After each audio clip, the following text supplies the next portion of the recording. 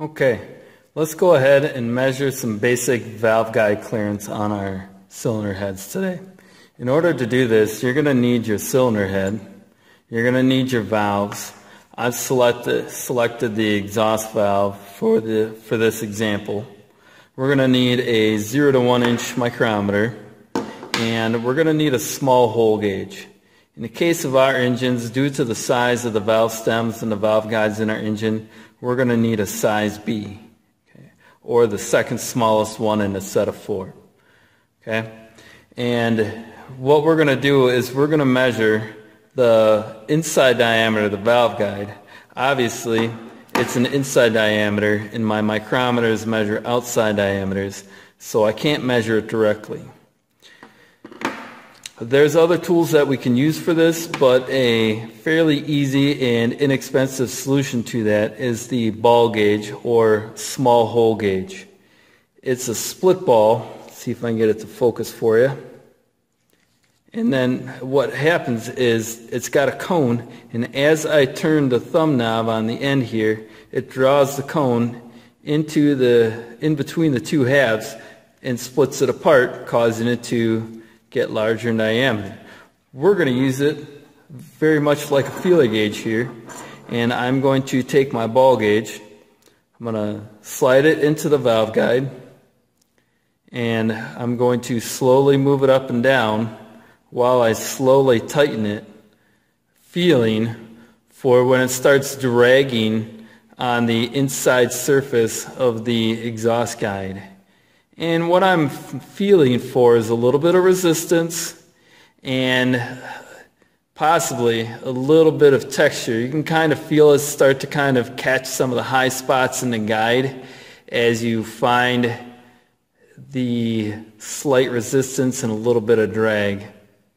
It does take a little bit of practice to get this. If you let go and it falls all the way down, it wasn't tight enough. And if you let go and it doesn't move, you probably have it too tight. So you want to make sure you have just a little bit of drag. You kind of feel it's kind of like scuffing the surface just a little bit. We're not trying to put marks in the guide though. Okay, I think I've got it there. Okay. Yeah, there we go. And I'm going to pull that out. And you'll see here that it's wedged the two halves open. And so what I'm going to do now is take my 0 to 1 inch mic and I'm going to measure across the widest portion of the ball gauge here at the end. So I'll take my mic, put that in there, very carefully close that up onto the ball gauge, making sure not to squish the ball gauge with my micrometer. And then I'm going to go ahead and take my reading in this case, it's 215.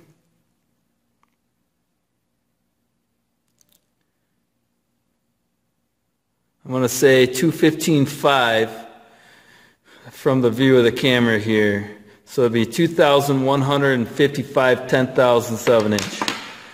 I will go ahead and where it says valve guide diameter for the exhaust, go ahead and write that down. In the case of our engines, the difference in diameter from the guide to the stem, or what's known as our valve guide clearance, on many of the engines can be right around or just under 1 thousandth of an inch. So it's imperative that you measure to the nearest 10 thousandths of an inch. Otherwise, you might find that your guide and valve stem are exactly the same diameter to the nearest thousandths, which can't be since one fits into the other. Okay, so now that I got my guide diameter measured, now I need to measure the stem on my exhaust valve. Got a little bit of oil on it yet, so I'm going to take a rag and wipe that off so that the oil film doesn't interfere with my measurements. And when I measure this, I don't want to measure down here by the head of the valve okay, because that, that's in a port and it doesn't actually go into the guide. And I don't need to measure near the end of the valve stem tip because this part of the valve stem doesn't actually go in the guide either. I want to measure the part of the valve stem that's actually in the guide traveling up and down. And so it's a pretty small, short valve. So we're going to go ahead and just take a measurement right in the middle here.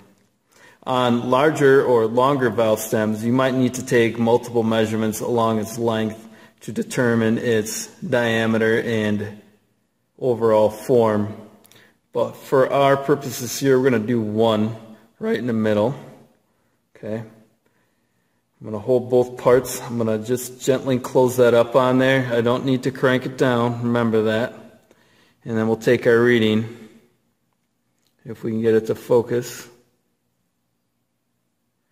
And look at that, we're just shy of 215. So we're, we'll call that 214.